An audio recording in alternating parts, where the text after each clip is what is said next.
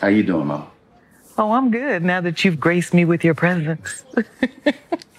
hey, I know this is going to sound random, but you're going to have tests coming from every which way, and I need you to pay attention to the people you surround yourself with and think before you react.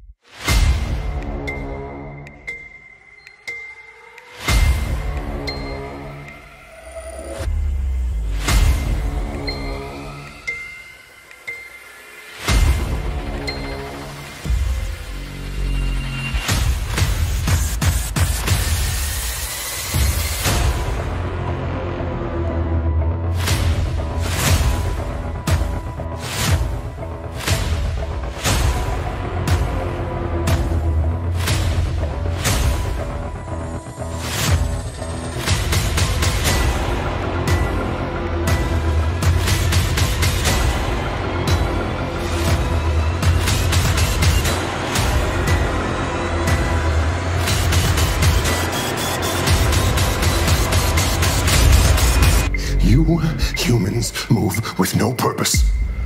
Just by fear. I don't understand.